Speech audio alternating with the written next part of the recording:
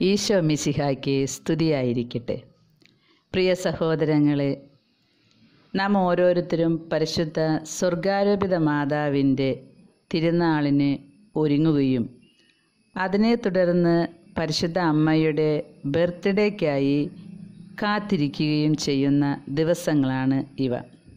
സ്വർഗാരോപിത മാതാവിന്റെ തിരുനാളിന് ഒരുക്കമായി പല ജപമാല മക്കളും ഓഗസ്റ്റ് ഒന്നാം തീയതി മുതൽ തന്നെ ജപമാലയും നന്മ നിറഞ്ഞ മറിയമേ എന്ന ജപവും ചൊല്ലി എണ്ണി തിട്ടപ്പെടുത്തിക്കൊണ്ട് കാത്തിരിക്കുകയാണ് പരിശുദ്ധ അമ്മയ്ക്ക് ബർത്ത്ഡേ സമ്മാനം കൊടുക്കാൻ. സ്വർഗാരോപണ തിരുനാളിന്റെ അന്ന് ഓരോരുത്തരും നിയോഗം വെച്ച് പ്രാർത്ഥിച്ചിട്ടുണ്ടായിരുന്നു. പല മക്കളും വിളിച്ചു പറഞ്ഞു അവരുടെയൊക്കെ നിയോഗങ്ങളിൽ ചിലതെങ്കിലും നടന്നു കിട്ടിയെന്ന്. എന്നെ സംബന്ധിച്ച് സ്വർഗാരോപണ തിരുനാളിന്റെ അന്ന് നടത്തിത്തരണമേ എന്ന് പറഞ്ഞ മൂന്ന് നിയോഗങ്ങളും പരിശുദ്ധ അമ്മ നടത്തി തന്നു. പരിശുദ്ധ അമ്മ മാതാവിന് എന്റെ ജീവിതം തന്നെ ഞാൻ സമർപ്പിച്ചുകൊണ്ട് നന്ദി പറയുകയാണ്. അമ്മയ്ക്ക് ജീവിതം സമർപ്പിക്കുക എന്ന് വെച്ചാൽ ഈശോയ്ക്ക് പിതാവിന് നമ്മളെ അടിമയായി കൊടുക്കുക. കാരണം അങ്ങനെ കൊടുക്കാനാണ് എന്റെ ജീവിതം ഞാൻ അമ്മയുടെ കയ്യിൽ ഏൽപ്പിക്കുന്നത്. അമ്മയോട് ഏറെ നന്ദിയും കടപ്പാടുമുണ്ട്. പ്രാർത്ഥിച്ചു തീരും മുമ്പേ എന്റെ പ്രാർത്ഥന കേൾക്കുന്നു എന്ന ഒരു തോന്നൽ. അതുമാത്രമല്ല വിശുദ്ധ അന്തോണീസിന്റെ ബർത്ത്ഡേ ദിവസം. ഓഗസ്റ്റ് പതിനഞ്ചാം തീയതി. അന്നും ഒരു നിയോഗം വെച്ചു വിശുദ്ധനായ അന്തോണീസിനോട്. അതും വിശുദ്ധൻ നടത്തി തന്നു ഇതിൽ നിന്ന് നാം മനസ്സിലാക്കുന്നത് നമ്മുടെ യോഗ്യത കൊണ്ടല്ല. നമ്മൾ എന്തൊക്കെയോ കുറേ പ്രാർത്ഥനകൾ ചൊല്ലിക്കൂട്ടുന്നുണ്ട് അത് സ്വർഗത്തിനെ സ്വീകരിക്കാൻ തക്കവണ്ണം യോഗ്യതയൊന്നും നമുക്കില്ല. പക്ഷെ അത് പരിശുദ്ധ അമ്മയുടെ കരങ്ങളിൽ കൊടുക്കുന്നത് കൊണ്ട് അമ്മ അതിനെ യോഗ്യതയുള്ളതാക്കി അമ്മ മാതാവ് സമർപ്പിക്കുമ്പോൾ ദൈവം കനിഞ്ഞ് കൃപകൾ നമുക്ക് നൽകുകയാണ്. അതുപോലെ വിശുദ്ധന്മാരോട് നാം പ്രാർത്ഥിക്കുമ്പോൾ അവർ വിശുദ്ധ ജീവിതം നയിച്ചു കഷ്ടങ്ങൾ സഹിച്ച് സഹനങ്ങൾ ഏറ്റെടുത്ത് അവർ വിശുദ്ധ ജീവിതം നയിച്ചതിന്റെ ആ ഒരു യോഗ്യത കൊണ്ട് നമ്മുടെ പ്രാർത്ഥനകൾ അവർ കൈകളിലെടുത്ത് അവർ അത് പരിശുദ്ധാമ്മയുടെ കരങ്ങളിലേക്ക് കൊടുക്കുമ്പോൾ അമ്മ മാതാവ് അത് ദൈവപുത്രന്റെ അടുത്ത് ഏൽപ്പിക്കുന്നു. അങ്ങനെയാണ് അത്ഭുതങ്ങൾ നടക്കുന്നത്. പ്രിയ കൂട്ടുകാരെ ഇന്ന് ഓഗസ്റ്റ് പതിനേഴാം തീയതി. ഇനി ഏകദേശം ഇരുപത്തിയൊന്ന് ദിവസവും നമ്മൾ പ്രാർത്ഥനയിലായിരിക്കും. പരിശുദ്ധ അമ്മയുടെ ബർത്ത്ഡേക്കായി ഒരുങ്ങുവാൻ. അമ്മയെക്കുറിച്ചുള്ള കാര്യങ്ങൾ കേട്ടും അമ്മയ്ക്ക് ഈശോയോട് എന്തുമാത്രം സ്നേഹവും എന്തുമാത്രം അടിമത്വവും അമ്മ ദൈവത്തോട് കാണിച്ചോ അതേ അടിമത്തം നമുക്കും കാണിക്കാനായിട്ട് നാം അമ്മയെ മാതൃകയാക്കുകയാണ്. അമ്മ മാതാവിന്റെ പല ഭക്ത അഭ്യാസങ്ങളും മാതാവിനോടുള്ള ഭക്ത അഭ്യാസങ്ങളും നാം കേട്ട് കഴിഞ്ഞിട്ടുണ്ട്. ഇന്ന് നാം ഇവിടെ പങ്കുവെക്കുന്നത് സെപ്റ്റംബർ എട്ടാം തീയതിയിലേക്ക് നാം ജപമാല ചൊല്ലിയും നന്മ നിറഞ്ഞ മറിയമേ ചൊല്ലിയുമാണല്ലോ ഒരുങ്ങുന്നത്. അതുകൊണ്ട് അമ്മയുടെ ജപമാല രാജ്ഞിയോടുള്ള ഒരു നൊവേന പ്രാർത്ഥനയെക്കുറിച്ചാണ് ഇന്ന് നാം കേൾക്കുന്നത്. ഈ ജപമാല നൊവേന ആരംഭിച്ചത് ആയിരത്തി ആയിരത്തി എണ്ണൂറ്റി എൺപത്തി നാല് ഫെബ്രുവരി പതിനാറിനാണ്. ഇത് ആരംഭിച്ചത് നേപ്പിൾസിലാണ്. പോർത്തുന അപ്രല്ലി എന്ന പെൺകുട്ടിയാണ് ഇതിന് തുടക്കം കുറിച്ചത്. ഈ പെൺകുട്ടി തീരാരോഗം പിടിപ്പെട്ട് ഡോക്ടർമാർ കൈയൊഴിഞ്ഞ അവസ്ഥയിലായിരുന്നു. പതിമൂന്ന് മാസത്തോളം കിടപ്പിലായിരുന്നു.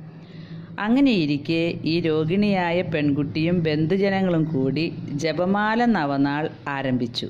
ആയിരത്തി എണ്ണൂറ്റി എൺപത്തി നാല് ഫെബ്രുവരി പതിനാറിന്. അങ്ങനെ മാർച്ച് മൂന്നിന് വിശുദ്ധ ഡൊമിനിക്കിനോടും സിയന്നായിലെ വിശുദ്ധ കത്രീനയോടും ഒപ്പം ഉണ്ണീശോയെ മടിയിൽ വെച്ചുകൊണ്ട് പരിശുദ്ധ അമ്മ ഈ പെൺകുട്ടിക്ക് പ്രതീക്ഷയായി ഈ പെൺകുട്ടി പ്രാർത്ഥിച്ചത് ജപമാല രാജ്ഞി എന്റെ മേൽ കരുണ തോന്നി എന്നെ സുഖപ്പെടുത്തണമേ എന്നായിരുന്നു. അമ്മ പ്രത്യക്ഷപ്പെട്ടപ്പോൾ അമ്മ അവളോട് വെളിപ്പെടുത്തി കൊടുത്തത് ജപമാല രാജ്ഞി എന്ന സംബോധന അമ്മയ്ക്ക് പ്രിയങ്കരമാണെന്നും അതുകൊണ്ട് അവളുടെ അപേക്ഷ നിരസിക്കുകയില്ലെന്നുമാണ്. അങ്ങനെ പരിശുദ്ധ ജപമാല രാജ്ഞി ജപമാല നൊവേന ചൊല്ലേണ്ട ക്രമം പെൺകുട്ടിയെ പഠിപ്പിച്ചു.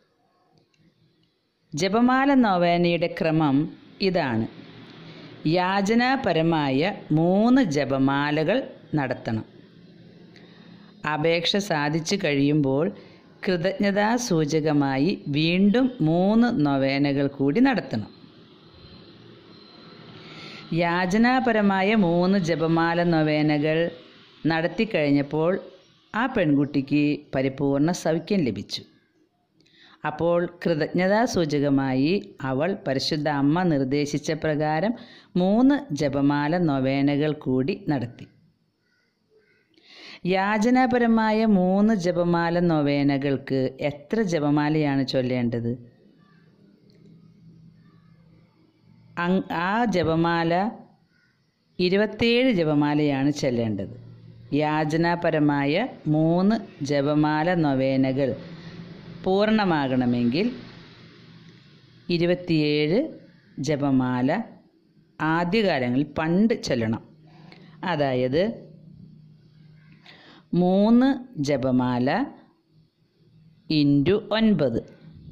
അപ്പോൾ ഇരുപത്തിയേഴ് ജപമാലയായിരുന്നു അന്ന് അവൾക്ക് പറഞ്ഞു കൊടുത്തത്. എന്നാൽ ഇപ്പോൾ പ്രകാശത്തിന്റെ രഹസ്യങ്ങൾ കൂടി കൂട്ടിച്ചേർത്തത് കൊണ്ട് ഒൻപത് ഇന്റു നാല് മുപ്പത്താറ് ജപമാലകൾ ചെല്ലേണ്ടി വരും. മുപ്പത്തിയാറ് ജപമാലകൾ എന്ന് പറഞ്ഞാൽ മൂന്ന് ജപമാല നോവേനകൾ. അതിന് മുപ്പത്തിയാറ് ജപമാല നാം ചൊല്ലണം. അതുപോലെ കൃതജ്ഞതാസൂചകമായും മുപ്പത്താറ് ജപമാല നാം ചൊല്ലണം. പണ്ട് ഇരുപത്തിയേഴ് ജപമാലയായിരുന്നു. അമ്മ പറയുന്ന കാലത്ത്. ഇപ്പോൾ പ്രകാശത്തിന്റെ രഹസ്യങ്ങൾ കൂട്ടിച്ചേർത്തതുകൊണ്ട് മൂന്ന് നൊവേന പൂർത്തിയാക്കണമെങ്കിൽ മുപ്പത്തിയാറ് ജപമാല ചൊല്ലണം. കൃതജ്ഞതാസൂചകമായി ഇതുപോലെ മൂന്ന് നൊവേന നടത്തണമെങ്കിൽ മുപ്പത്തിയാറ് ജപമാല വീണ്ടും ചൊല്ലണം. അങ്ങനെ ഈ ജപമാല നൊവേന പൂർത്തിയാക്കാൻ എഴുപത്തിരണ്ട് ജപമാലകൾ ചൊല്ലണം. ഈ എഴുപത്തിരണ്ട് ജപമാലകൾ ചൊല്ലുമ്പോൾ പരിശുദ്ധ അമ്മ ജപമാല രാജ്ഞി എന്ന ബോധ്യം ഉള്ളിൽ വെച്ചുകൊണ്ട് ജപമാല രാജ്ഞി എന്റെ മേൽ കരുണ തോന്നി എന്നെ സുഖപ്പെടുത്തണമേ എന്നോ? അല്ലെങ്കിൽ ജപമാല രാജ്ഞി എന്റെ മേൽ കരുണ തോന്നി എന്റെ ഈ നിയോഗം നടത്തിത്തരണമേ എന്നോ? പ്രാർത്ഥിക്കാം. പരിശുദ്ധ ജപമാല രാജ്ഞിയോട് ഇന്നു മുതൽ ഇരുപത്തിയൊന്ന് ദിവസം നാം പ്രാർത്ഥനയിലായിരിക്കുകയാണ്. എന്തിനാണെന്നോ? മാതാവിന്റെ ബർത്ത്ഡേക്ക് സമ്മാനം കൊടുക്കാൻ. അമ്മ മാതാവിന് ഏറ്റവും ഇഷ്ടമുള്ള പ്രാർത്ഥന ജപമാല പ്രാർത്ഥനയാണെന്നാണ് പലയിടത്തും അമ്മ പറഞ്ഞിട്ടുള്ളത്.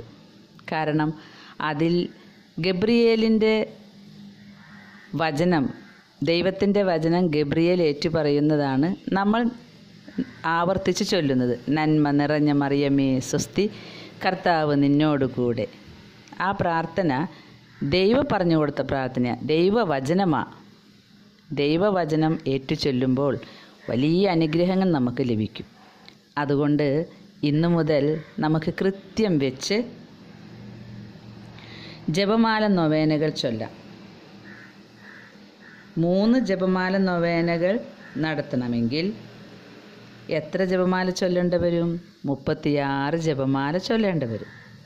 ഇനി നമ്മുടെയൊക്കെ സൗകര്യം പോലെ കണക്കുകളെടുത്ത് നിശ്ചയിച്ച് ഈ ഇരുപത്തിയൊന്ന് ദിവസത്തിനുള്ളിൽ എത്ര നൊവേനകൾ നമുക്ക് നടത്താൻ പറ്റും എന്നൊന്ന് നമുക്ക് പരിശോധിക്കാം. അങ്ങനെ നൊവേനകൾ നടത്തി സെപ്റ്റംബർ എട്ടാം തീയതി നമ്മുടെ നിയോഗം നടക്കുമ്പോൾ നമുക്ക് അമ്മയോട് കൃതജ്ഞതാ സൂചകമായി മൂന്ന് നൊവേനകൾ കൂടി നടത്തണം. അപ്പോൾ വീണ്ടും എട്ടാം തീയതി മുപ്പത്തിയാറ് ജപമാലകൾ ചൊല്ലേണ്ട വരും. എല്ലാവർക്കും ജപമാല രാജ്ഞിയുടെ എല്ലാവിധ അനുഗ്രഹങ്ങളും ലഭിക്കട്ടെ എന്ന് പ്രാർത്ഥിച്ചുകൊണ്ട് ആമേൻ.